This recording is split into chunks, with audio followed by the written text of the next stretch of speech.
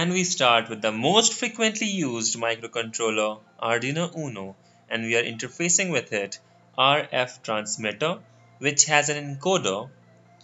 The VCC and ground of it is connected to the common VCC and ground supply which is connected with Arduino. We can see four push buttons which are supposed to send signals from the antenna above. On the right side we can see a RF receiver module which has a decoder which is again connected to the common VCC and ground supply. And on the decoder, I mean the receiver, we can see the four LEDs which act according to the signal received.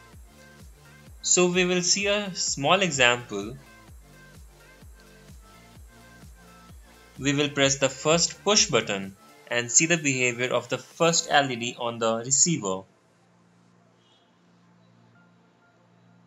and one by one we press all the buttons and as you can see these two modules are wirelessly communicating with each other. Now you must be wanting to work on it by yourself. You can find the blog in the description below.